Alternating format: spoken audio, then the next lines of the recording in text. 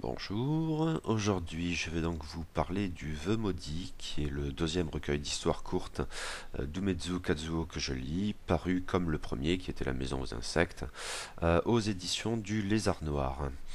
Et la lecture de ce recueil donc euh, d'Umezu Kazuo, parfois appelé Umed, parfois Kads, m'avait fait très forte impression.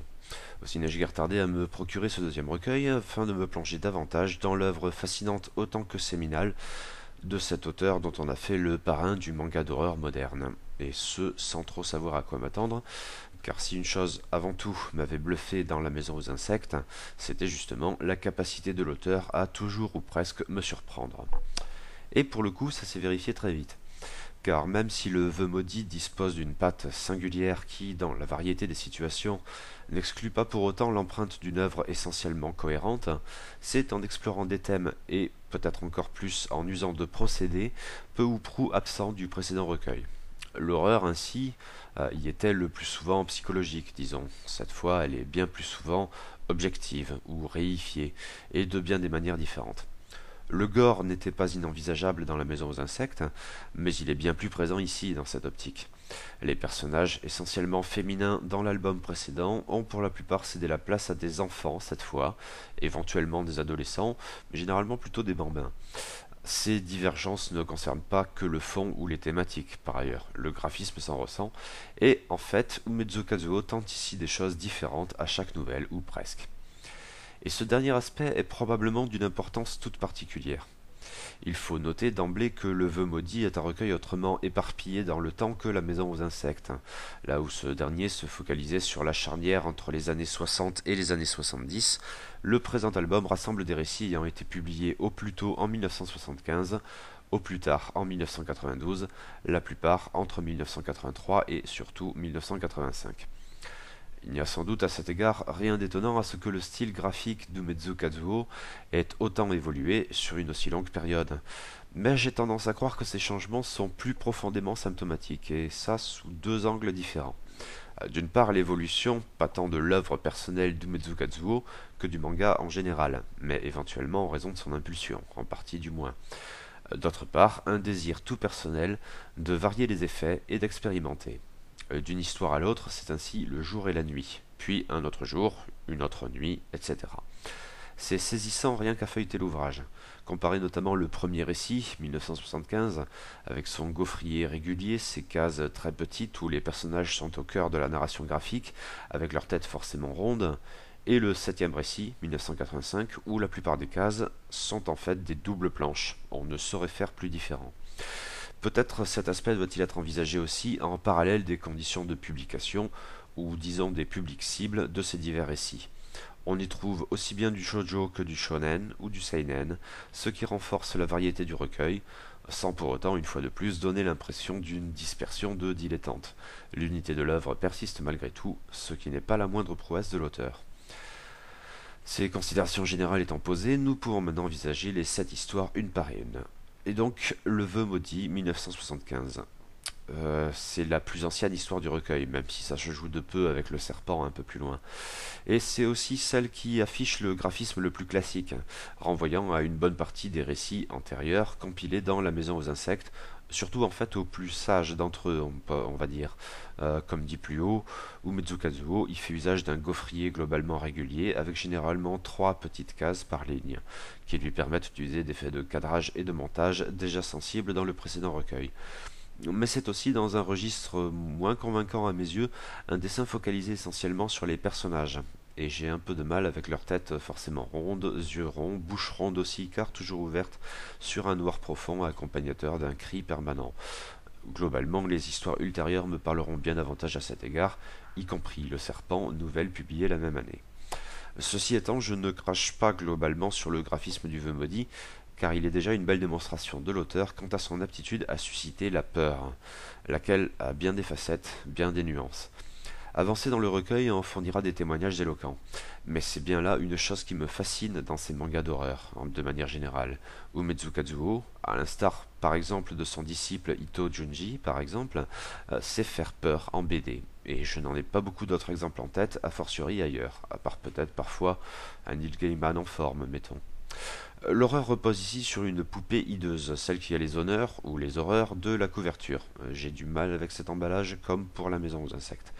Un enfant, peu ou prou dépourvu d'amis, mais bricoleur, récupère dans les ordures des matériaux pour élaborer son véritable ami, une poupée d'apparence déconcertante, en fait moche à faire peur, mais que l'enfant souhaiterait voir vivre, veut malencontreux quelque part entre Pinocchio et, plutôt que Chucky, disons certains récits enfantins de Stephen King, qui débutaient plus ou moins à l'époque, Le Vœu Maudit affiche son classicisme de fond, tout en se montrant plus inventif et subtil qu'on pourrait le croire sur le plan graphique. La régularité et la banalité des premières planches, en fait, sont probablement ici des leurs, en partie du moins.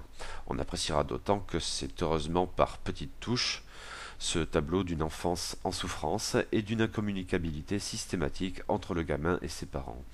La peur suscitée par la poupée, admirable, tire également ce récit vers le haut.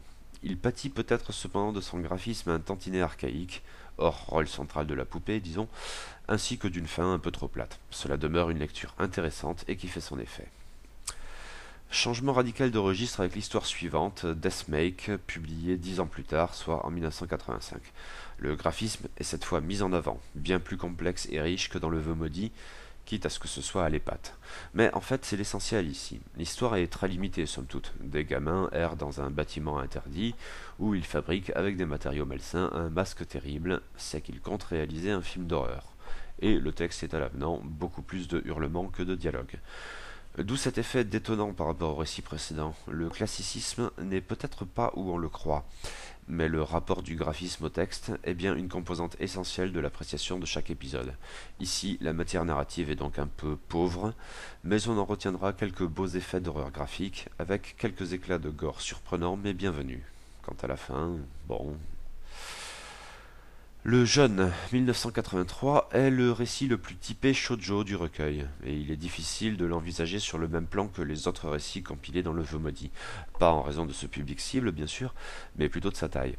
Là où la plupart des nouvelles rassemblées font une trentaine de pages, en pouvant pousser jusqu'à la cinquantaine pour le serpent, le Jeune est par contre condensé en six planches. C'est peu.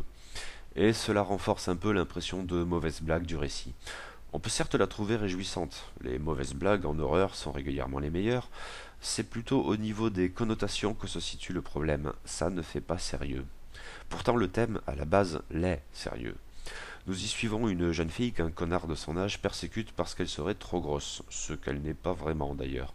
Mais justement, via les régimes draconiens que l'adolescente s'impose, car il lui faut devenir belle, Umezu Kazuo évoque finalement l'anorexie, non sans pertinence, et je ne suis pas bien certain que c'était si courant que cela en 1983. Quand même un récit secondaire dans l'ensemble.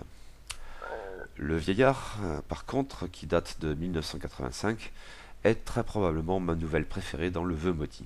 C'est une vraie merveille, d'une inventivité étonnante, maniant avec habileté nombre de registres de la peur, mais peut-être avant tout du suspense, et esquissant sous des cases d'apparence anodine un cauchemar autrement global, qui pourrait être ridicule, car le récit n'est certes pas dénué d'un vague humour tordu, mais ne l'est finalement en rien, car avant tout glaçant. La situation de départ est somme toute assez banale. Un gamin de cinq ans joue dans un terrain vague. Il passe non loin d'une fosse et hurle de terreur au spectacle de ce qui se trouve au fond, quelques monstres au visage crevé de fissures, un vieillard. L'horreur ne vient pas tant pour le lecteur de la représentation du vieil homme, mais de l'appréhension petit à petit de ce fait autrement troublant. Le petit garçon n'a jamais vu un vieillard, il n'a pas la moindre idée de ce que peut être un vieillard. Une nouvelle très habile, oui, très surprenante aussi, plus singulière probablement que la plupart de celles figurant dans ce recueil, avec une notion de l'effroi qui louche plus du côté de la science-fiction que de l'horreur surnaturelle, même en prenant en compte la monstruosité, au moins graphique, du vieillard. Le plus habile réside probablement en ceci que le lecteur, comprenant petit à petit ce qui se passe, hésite longtemps à savoir où se trouve exactement ce qui doit faire peur, chez le vieillard ou chez l'enfant. La propos du graphisme s'associe à l'inventivité du récit et à la subtilité des modes de narration pour faire de cette quatrième histoire le grand moment du vœu maudit et autant le dire un chef-d'œuvre. Le cadeau, qui est le récit le plus récent du recueil, 1992, n'en que davantage. Si le vieillard est le sommeil du recueil, le cadeau est en effet le ratage. Le récit adopte la structure d'un cauchemar, ce qu'il est bel et bien, mais en empruntant des traits d'un humour improbable qui sonne systématiquement faux. Un groupe de jeunes gens à Noël se retrouve, sans que l'on comprenne bien pourquoi ni comment, dans un hôtel où leurs festivités ont quelque chose d'humiliant pour l'héroïne. Une humiliation d'autant plus sensible que le récit n'est certes pas dépourvu d'un potentiel érotique marqué, que je n'avais pas vraiment senti jusqu'alors chez l'auteur, à vue de nez du moins. Mais l'orgie en puissance tourne en fait bientôt au survival grotesque avec un Père Noël psychopathe. Comme Deathmake un peu plus haut, le récit se montre relativement pauvre en dialogue, passé le début pour le coup un peu bavard, et les hurlements prennent le pas sur les répliques, ce qui ne joue guère en faveur de son intérêt. Le côté convenu de l'ensemble jusque dans le délire burlesque de même. Par ailleurs, c'est plus surprenant, le graphisme de cet épisode de 1992 me paraît nettement moins bon que celui des trois récits datant de 1985 et qui, chacun à sa manière, représente ici le meilleur de ce que peut faire Umezu Kazuo. Non, décidément, ce récit-là, ici, ne passe pas. Et on retourne à quelque chose de bien plus intéressant avec Le Serpent, publié la même année que Le Vœu Maudit, 1975 donc, et dans la même revue shonen, mais un tout petit peu plus tard. Euh, nous y retrouvons un petit garçon pour héros qui, avec ses copains, a la très mauvaise idée de vouloir voir un serpent colossal dont la rumeur dit qu'il est l'animal de compagnie d'une habitante des environs. Euh, la dite propriétaire n'étant certes pas désireuse d'ouvrir sa maison à la curiosité des galopins, ces derniers pénètrent par effraction dans la demeure et obtiennent confirmation de ce que la rumeur dit vrai. Mais le serpent n'a-t-il pas fixé des yeux notre héros? L'interrogation prend une tournure plus inquiétante quand la nouvelle tombe au journal télévisé, le serpent s'est enfui. Sous le coup de la panique, le garçon ne doute pas que le serpent est à ses trousses. Il a peur, en permanence, et a bien besoin de la protection de son colosse de père.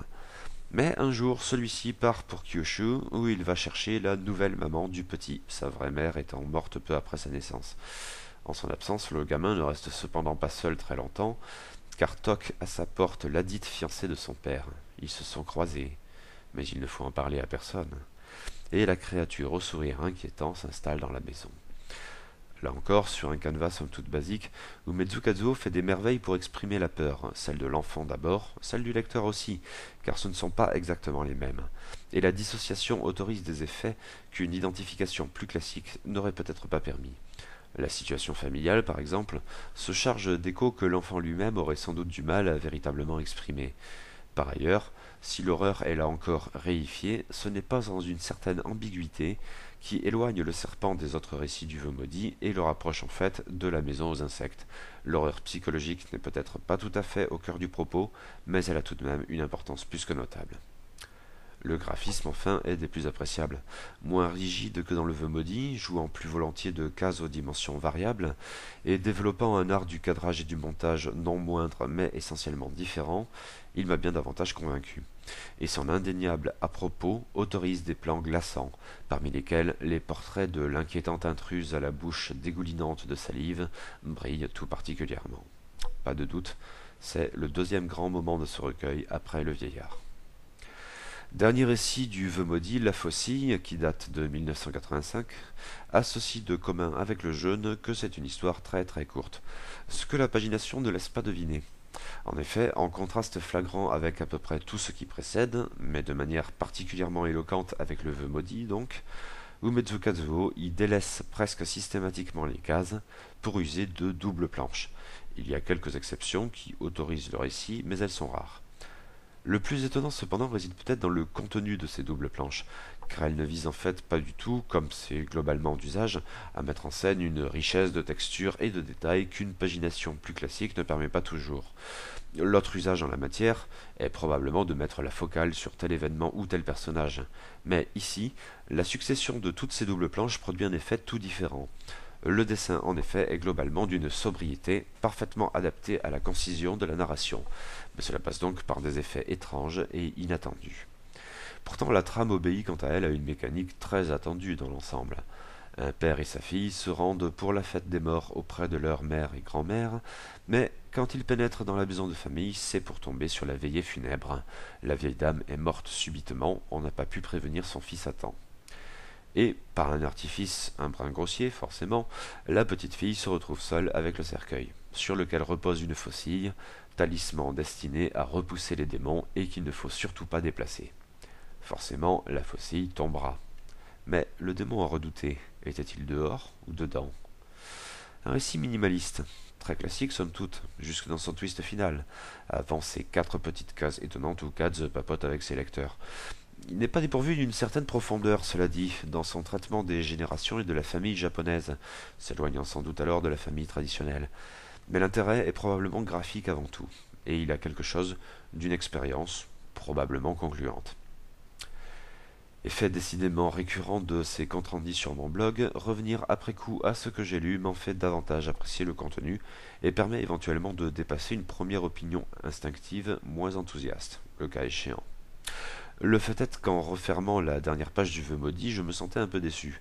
Je n'y avais pas retrouvé la puissance et l'habileté narrative de la maison aux insectes, globalement. Il y avait de cela dans le vieillard et le serpent, mais nettement moins ailleurs. Au fond, ma conviction demeure de ce que le premier recueil était bien supérieur au second, mais celui-ci n'est pas pour autant dénué d'intérêt, loin de là. Les excellents récits que je viens de citer en justifient probablement la lecture, et la recherche graphique sensible dans les autres pallie éventuellement à des récits plus faibles sur le strict plan de l'histoire.